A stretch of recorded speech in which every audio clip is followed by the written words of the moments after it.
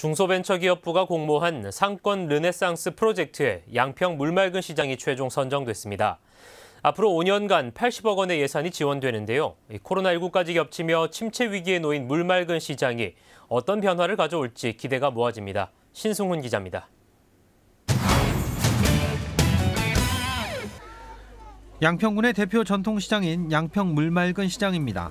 1900년대 초반부터 5일장이 서기 시작했던 이곳은 주말이면 전철을 타고 온 수도권 관광객들로 붐볐습니다.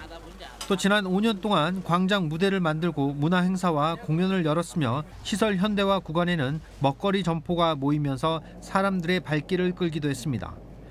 하지만 경기 악화와 코로나19 사태로 상권은 위축됐고 이에 따라 양평군과 상인회가 새로운 돌파구를 모색했습니다. 요 시장 일길 그 서문 그 앞에 먹거리로 조금 한 지가 지금 4, 5년, 돼- 5년이 넘었거든요.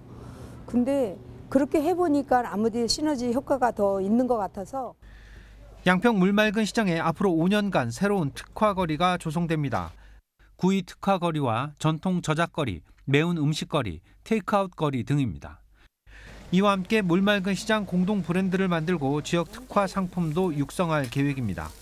중소벤처기업부의 상권 르네상스에 선정되면서 앞으로 5년간 80억 원의 예산을 지원받을 수 있기 때문입니다. 이번 르네상스 사업은 시설 환경 개선 플러스 하드웨어 플러스 소프트웨어 그리고 앞으로 양평 물맑은 시장이 향후에 어떻게 나갈 수 있는 어떤 초석의 그 단계라고 이제 보시면 될 것 같습니다. 네. 공모에 선정은 됐지만 가장 어려운 점은 상인들의 동참입니다. 특화 거리를 위해선 업종을 변경하거나 점포를 옮기는 등의 과감한 결정이 뒤따라야 하는 상황입니다.